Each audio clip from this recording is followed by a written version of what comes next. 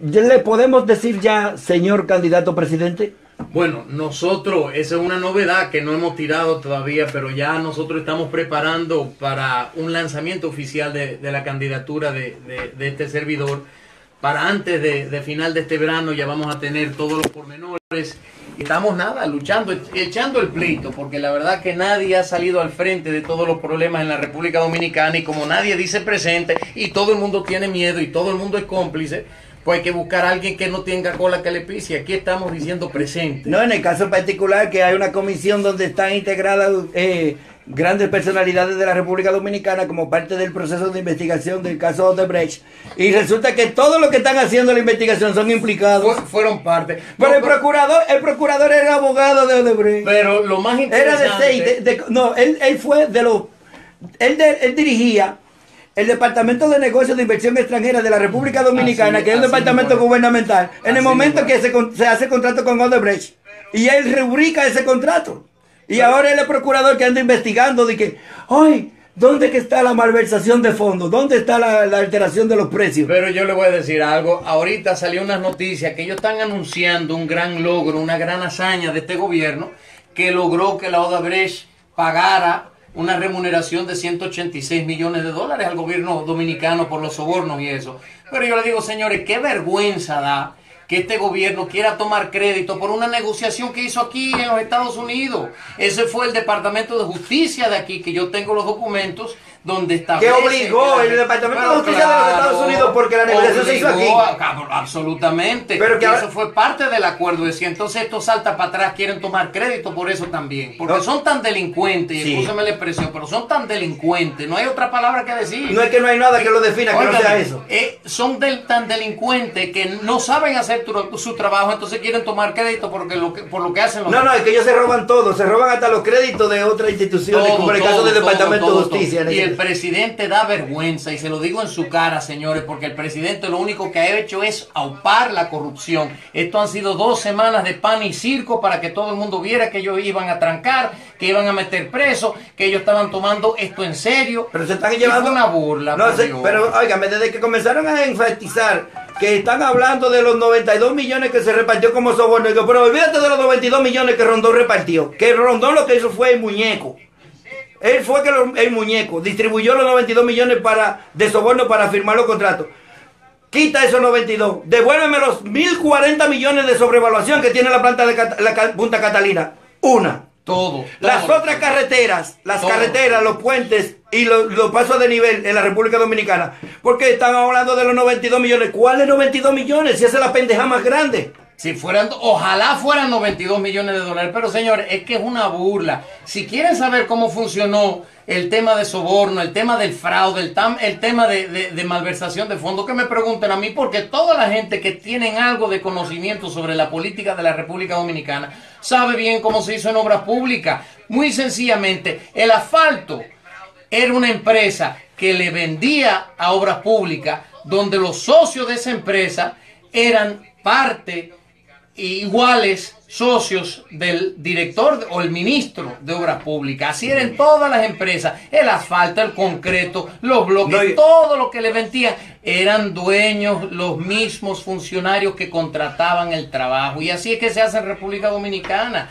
Pero nadie dice presente. Y por eso es que entiendo yo que aquí lo más importante es decir presente en la marcha del domingo. Porque no importa, eh, no podemos politizar el tema y no importa qué partido, qué corriente ideológica fue que organizó. La, la necesidad imperiosa ahora es demostrarle al gobierno de la República Dominicana que el pueblo dominicano está harto y que vamos a salir a una convocatoria que se hizo al pueblo dominicano. Ahí nos vamos con banderíos Yo mismo vengo aquí a Nueva York y adelanté el viaje para poder participar. No es una marcha de nosotros, pero yo creo que hay que salir y hay que poner los intereses de la patria por encima de, del banderío político y de los intereses partidistas en este momento. Ante las, evidencias presentadas, en el caso de Brecht solamente, en el caso de Brecht por la, la operación Lavallato, la que está en tantos países integrado y que los Estados Unidos se metieron de lleno porque aquí se hicieron operaciones de esas, se firmaron contratos de esos.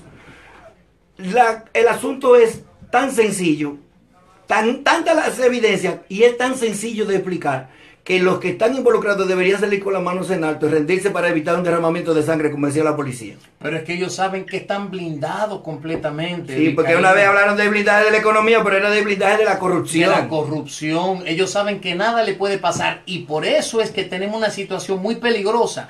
Porque el PLD hoy por hoy sabe que de entrar un gobierno digno, un gobierno serio, un gobierno que se disponga a trabajar por y para el pueblo, van a, van a someter a todos esa, esos funcionarios porque es que no hay forma. Y no es solo someterlo a la justicia, sino condenarlo y caerle atrás a todos los fondos que han sido malversados durante los ocho años, años de su gestión y antes de eso también. Sí, con lo que, que es lo que yo sostengo, la teoría que yo sostengo es que se le meta preso, se le, o sea, se le someta se le condene, se le enjuicie y se le condene y se le quite los bienes. hay que incautarle los bienes porque Fulano cayó preso, pero se quedó con 1.200 millones de dólares robados. Así no. Hay que hacer un ejemplo de todos esos funcionarios porque en Brasil el problema es que ellos tienen un nivel, una incidencia tan alta de la corrupción, pero el problema es que todos los funcionarios lo castigan, se fugan, más nunca vuelven a su país, pero se quedan cómodamente viviendo en un país con, la vida suntuosa que le, que le, que le otorga esa malversación de fondos. Entonces hay que hacer un ejemplo de todos los funcionarios, ponerle impedimento de, de salida y congelarle todos los bienes que ellos han malversado, porque eso es lo más, lo más importante. Y si este presidente cumpliera con la constitución, donde en el artículo 138 dice que la primera magistratura tiene la, la, la responsabilidad de velar por el fiel cumplimiento de nuestras leyes, este paisito fuera otro. Pero lamentablemente tienen el control de todo y hoy por hoy los funcionarios del PLD tienen más recursos, tienen más dinero tienen más bienestar que todo el pueblo dominicano y que la gran mayoría de todos los grandes empresarios que tienen cientos de años trabajando su, su, fortuna en República Dominicana. No, y son unos magos de la reproducción de dinero. Lo que no saben es cómo se hace, lo que no muestran es la saqueta, como cuando meten la mano, dónde está el truco. No, pero yo le digo una cosa, si el pueblo estuviera bien y en abundancia y bienestar, yo digo, roben ahí, pero señor, el pueblo se está muriendo de la hambre. Ahí es que vamos, por eso yo digo, si le dan 100 a administrar y se roban 200, porque sobrevalúan lo que iban a hacer con 100 que solamente tenía un costo original de 60 y los 40 eran de beneficio. Yo digo, róbate 10, no te robes 100, porque las obras no aparecen y cuando aparecen las obras, le han, eh, cotizan una obra por 700 millones y terminamos pagando 2.400 millones por ella.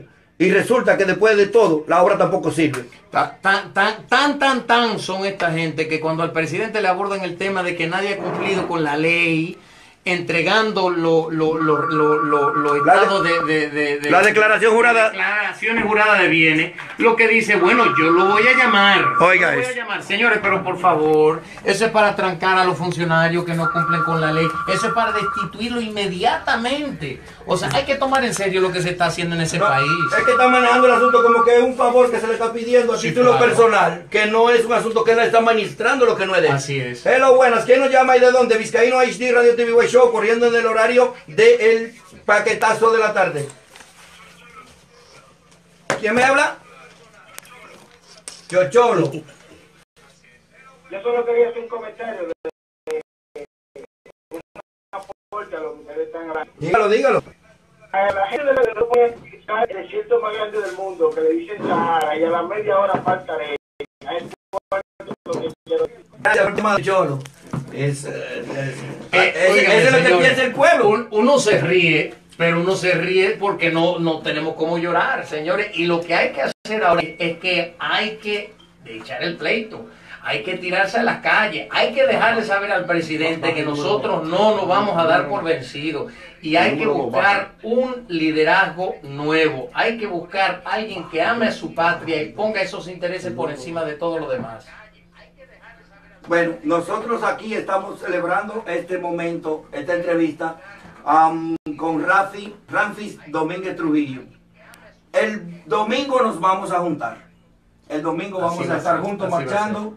Y después de eso nosotros vamos a estar explicando en detalle de la semana porque queremos hacer un conversado con, contigo fuera del aire y nos vamos a quedar con una entrevista especial que vamos a grabar para difundirla en la semana. Perfecto. Que ya no sea de la marcha, sino del proyecto político, que digo proyecto no, de la realización de este plan de trabajo. Así es. Porque el proyecto era cuando nació la idea. Ya ahora es la realización, el Ya- desarrollo del plan de trabajo. ya se está Claro, se está ejecutando el plan de trabajo. Así mismo. Es que hace falta de verdad, Vizcaíno. Nosotros no nos podemos quedar de brazos cruzados y nosotros los que vivimos aquí en la diáspora, que formamos parte de la diáspora dominicana, tenemos una gran responsabilidad. Nosotros no necesitamos prebendas de la política, nosotros no necesitamos la política para vivir. Somos eh, seres humanos, ciudadanos comunes y corrientes que amamos a nuestra patria y que estamos di- dispuestos a dar el todo por el todo. Y eso es lo más importante. De aquí de la diáspora es que va a salir la salvación de la República Dominicana, porque los dominicanos que tienen interés en salvaguardar la patria, en rescatar lo que son los valores patrios y todo lo que nosotros tenemos allá en ese, en ese pedacito de tierra que Dios nos ha dado a nosotros, realmente no tienen la capacidad. Y los que incursionan en la política allá, óigame, se corrompen. Eso es. Nos- a nosotros es lo que más nos duele porque yo siempre he dicho que el que está afuera salió empujado por un lado. Así es. Y es el que quiere que allá se resuelva para cargar menos pesado acá. Así. Cada vez que allá se afloja un tornillo, donde llaman para que manden un destornillador o una tuerca es para acá. Así Porque nosotros nos ven como la alcancía porque la posibilidad la tenemos, aún bajo lío, tenemos un poquito más de posibilidades. Eso. Por eso es que tenemos que desde acá hacer el empuje cada vez mayor. Incluso en las elecciones pasadas, la mayoría de dinero que se recaudó para el financiamiento de la campaña en la República Dominicana de los diferentes partidos sale de aquí, sale de Estados Unidos, sale de Europa, sale del exterior. Entonces nosotros tenemos obligatoriamente que empujar cada vez un poco más y lo vamos a hacer por la viabilidad del, con- del concepto más potable que se está presentando y que va a ser una realidad a partir del 2020. Ramfis Domínguez Trujillo, presidente de la República Dominicana, para adecentar y para recuperar lo que queda de la patria. Con el favor de Dios así será. Pero para cerrar, Vizcaíno, que yo sé que, que estamos ya, eh, eh, ya estamos eh, de- llegando al- a lo más bajo, quitándole tiempo a un programa de, de- de radio que yo sé lo importante que es. Pero se lo agradezco inmensamente. Pero quiero hacer un llamado a todos los dominicanos, a todas las dominicanas. Esto no es una marcha política. Es una marcha de país, es una marcha por la patria. Yo no tengo nada que ver en la organización, me dirigí aquí, a mí ni me han invitado, ni me han pedido hablar de la marcha. No, la Yo estoy haciendo porque lo considero importantísimo y vine hasta aquí a Nueva York, tenía un viaje planeado para la semana que viene de negocio, lo adelanté para poder participar en la marcha. Vamos todos, vamos a demostrarle al presidente que juntos somos más en la República Dominicana y que ese grupo de bandoleros, de insolentes que tienen secuestrado al país con una dictadura de partido no va a poder con el pueblo dominicano y que cuando nosotros nos decidamos nos vamos a imponer y le vamos a arrebatar el poder que ellos tienen y vamos a someterlos todos a la justicia, que es lo que ellos se merecen.